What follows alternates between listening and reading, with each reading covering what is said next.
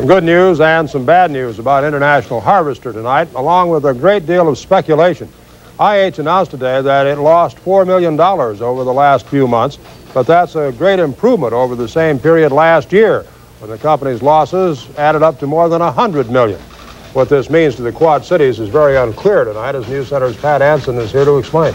Don, after being on the verge of bankruptcy, IH is now much closer to making some money again. But the profit is not coming from its farm equipment division. That was the main topic of discussion yesterday at the IH Board of Directors meeting in Springfield, Ohio. The board is thinking very hard about a major restructuring of the company's ag operations. No final decisions have been made yet, but this morning the company's chairman made it very clear that plant closures of some kind are likely. It, honestly, I can say honestly, I, I, I can't foresee us solving the problem without closing one or two more plants. However, we at this point in time haven't determined which they should be. There have been persistent rumors in the Quad Cities that IH is going to close its combine plant in East Moline, but we've heard of another distinct possibility.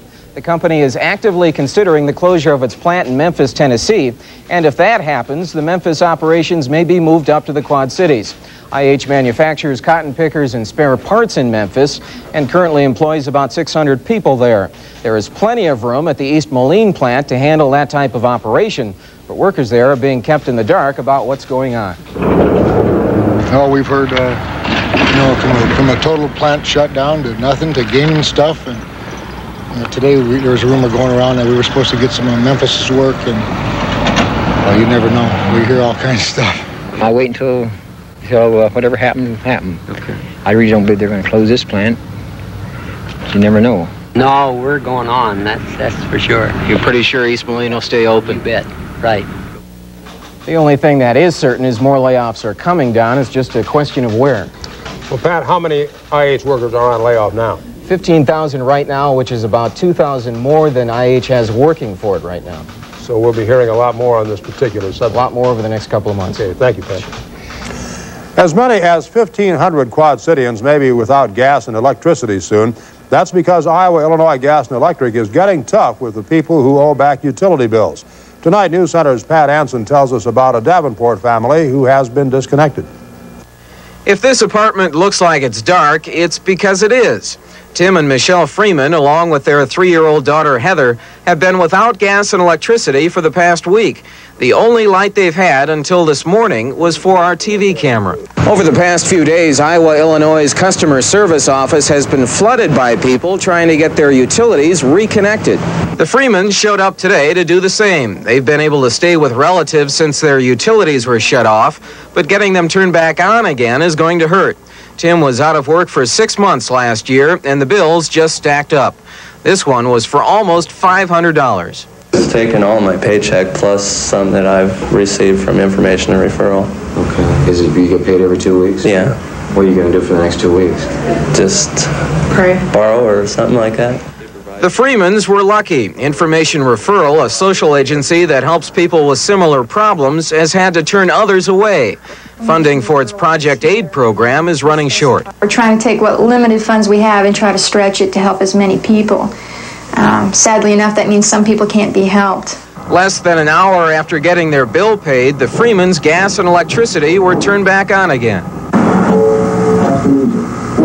But this story may not have a happy ending. The Freemans still owe Iowa, Illinois another $200, and unless that bill is paid by April 17th, the utilities will be turned off again. Pat Anson, News Center 6, Davenport. For the past several nights, we've been talking about life after a heart attack. There are several things victims can do to make themselves healthier. Getting regular exercise, giving up cigarettes, and eating more wholesome foods are just a few. But there's one aspect of life they can't control, and that's how society reacts to their problem. News Center's Pat Anson will be talking about that in the final part of his series on cardiac rehabilitation. Andrea, coming home from the hospital or going back to work are two very important psychological steps for someone recovering from a heart attack. Jane Clow was one of the lucky ones. She was able to go back to work just two months after having a heart attack in January. They were very understanding mm-hmm. about allowing me to come back on a part-time basis to begin with. And then after uh, a couple of weeks of part-time, I went back full-time. And everybody was real helpful and helped me ease back into things. So there wasn't any problem there. Keith Coburn was not so lucky. Because of his age and the severity of his heart problem, Coburn won't be fighting fires again as a Rock Island fireman.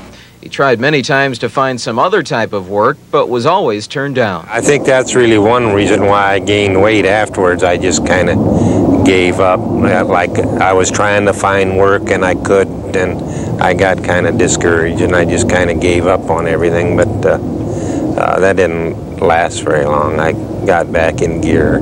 Having a heart attack at any age can be traumatic, but for Tom Bronson, the trauma was even more acute.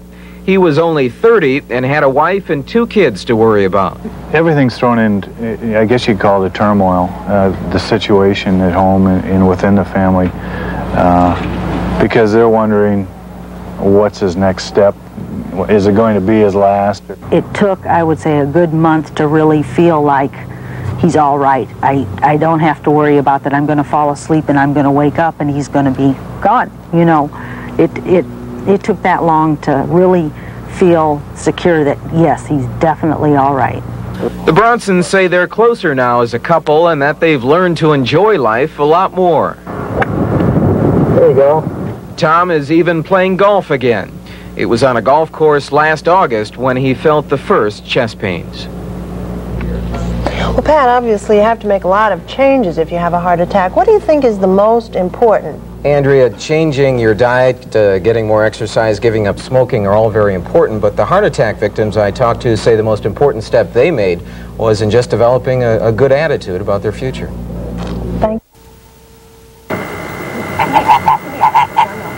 The cast of characters in this story is a little bizarre, but here goes. There's Goosey the gander and Lucy the goose, a rabbit named Peter, and a chicken named Henrietta. All these animals belong to Anna Bloomy and her husband Vernon, a Silvis couple who live next door to this man, Joe Campagna. Campagna says the geese foul up the neighborhood. They honk and defecate all over the area. How would you like if you had these ducks and goose in your yard and they defecate like crazy? No, they don't. Honest, they don't. If they sneak out, well, we just hurry up and get them back in if they... But they never get out. No. Campagna took his complaint to City Hall, and City Hall, after ducking the issue for a few months, took the Bloomies to court. The prosecution was armed with an ordinance that prohibits anyone from raising poultry within city limits. But the judge took a gander at the evidence and decided that since the Bloomies have had their pets longer than the city has had its ordinance, Goosey and his friends could stay. I'm glad it went the way it did. I because the animals, we try to keep them real quiet and uh, they never cause any trouble. We keep them clean. They don't have a smell. We've never had a complaint from anyone. What are you going to do now? Well, um, what I'm going to do now is I'm going to uh, see the attorney again, and uh, when these things get loose, to get the uh, the sheriff or the uh, police or whatever to have to see that she keeps them where they belong. The moral to this story is clear. You can slander a gander in Silvis these days, and you better not let your goose get on the loose. For NBC News, Pat Anson reporting from Silvis, Illinois. That's good.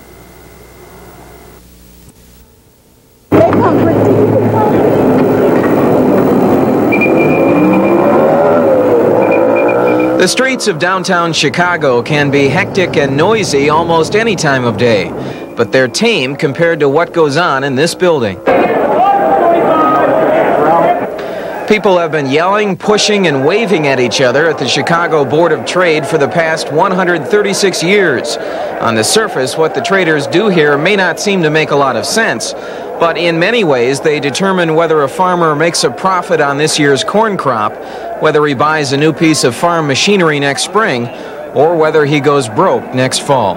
The farmer has a particular problem. The farmer is a price taker on all sides. He's a price taker on the commodities that he raises and sells, whether it's a, uh, in the grains, oil seeds, or livestock.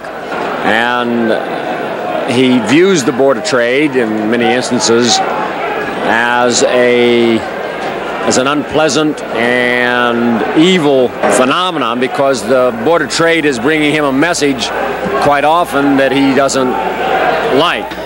Kotke and the other traders can sell everything from gold to soybeans.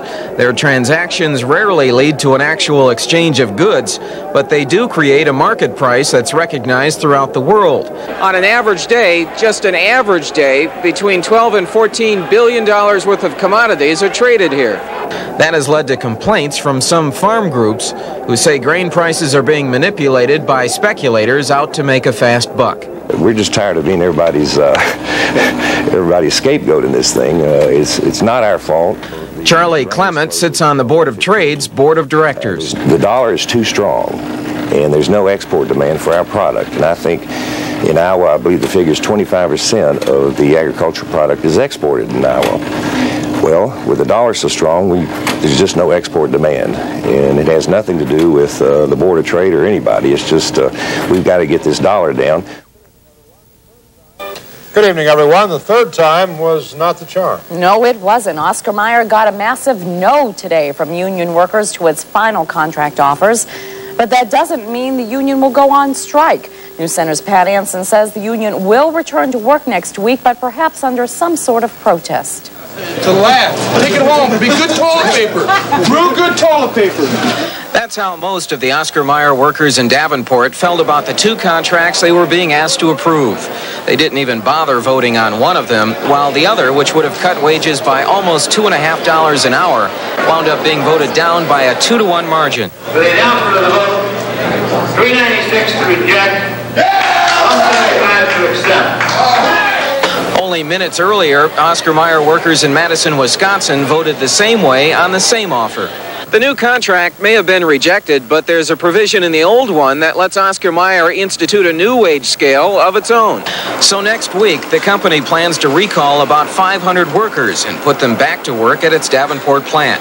Production workers will be paid $8.25 an hour, the same wage they refused to accept today. Given the choice of losing their jobs or taking a pay cut, most workers are saying they'll take the pay cut. Are you going to go back to work next week? Yeah, we, we're going to have to go back to work. You know, we cannot refuse to go back to work. We're going to have to go back to work. Well, I suppose we'll have to. If we don't go out on strike, we'll have to go back to work. But I think the whole package stinks, what they're offering us and everything. Union officials say Oscar Mayer may have won this battle, but the company will face some very hard bargaining when negotiations begin on a new contract a year from now. I've seen bankruptcies, I've seen divorces, I've even seen suicides over this. There's a bomb out there, and it's got a fuse on it. And I almost predict whatever happens to the economy doesn't make any difference. In September of 1985, you're going to see the packing house workers of this country. You're going to see a war. And I predict that no one will be able to stop it. The war may have already begun. Union members declined to take a strike vote today, but they still have that option, an option they won't let the company forget. Pat Anson, News Center 6, Davenport. This is WOCTV, Channel 6, Davenport, Iowa, the recognized leader in television news. Now, Don Ryan, Andrea Zinga, Tom Cornelis, Sports, and the exclusive John Collins weather. This is News Center 6. Good evening. A disappointing trip tops our news. Evidently, efforts to save the Rock Island Farmall plant fizzled in Houston, Texas today. Rock Island Mayor Jim Davis and Illinois Governor Jim Thompson returned to the Quad Cities empty-handed this afternoon. They had been in Houston to try to convince Tenneco, the new owners of International, to keep the Farmall plant operating. But News Center's Pat Anson, who was at the meeting today, reports Tenneco's answer was a foregone conclusion. Governor Thompson and Mayor Davis came to Houston with few illusions about persuading Tenneco to buy the Farmall plant or find some use for it.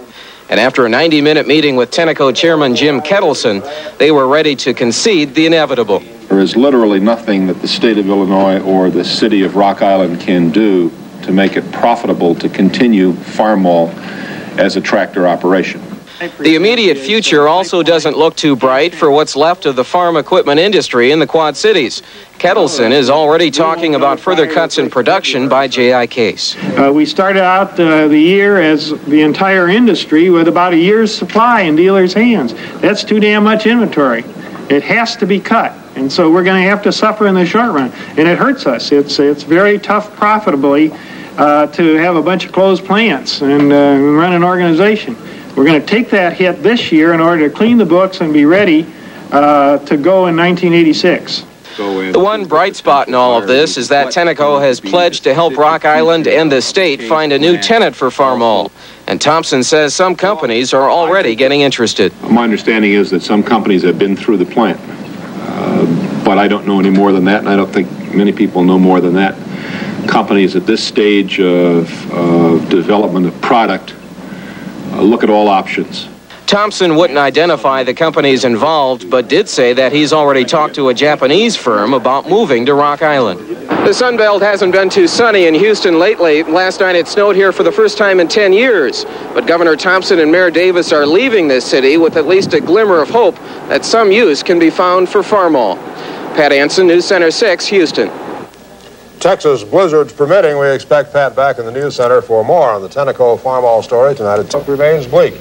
The industry has shown few signs of picking up. But Don, despite the poor economy, there are signs the Quad City real estate market is picking up. News Center's Pat Anson reports declining prices and lower interest rates have made it a buyer's market.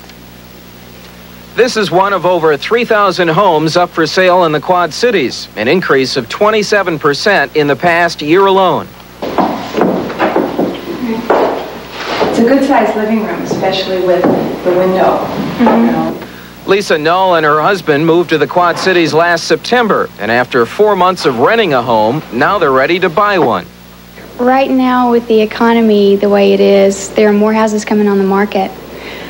The interest rates are down, and now would be a good time to buy. The Knowles have picked a good time to begin looking. Interest rates are at their lowest level in five years, down to 9 or even 8% for adjustable rate mortgages. There is also a glut of homes on the market, so many that some owners are willing to sell at a loss. We've seen a real depreciation in the housing market in terms of prices right now. The inventory is very realistically priced. I think anyone who has their house on the market at this point is very serious about selling it. I've worked with several people who have taken a, a real loss on their property. They've actually had to pay in order to sell. So far, the increase in housing sales has been very lopsided, with most of the activity in the Iowa Quad Cities. Across the river in Illinois, where the economy is worse, sales are still very sluggish. How long this buyer's market will continue is anyone's guess. Most realtors are happy with what they've seen so far, and if interest rates stay down, they're hoping that sales pick up even more by summer. Pat Anson, News Center 6, Davenport. The slump in manufacturing in the Quad Cities is beginning to take its toll nearby, for instance, in Geneseo. News Center's John Teal has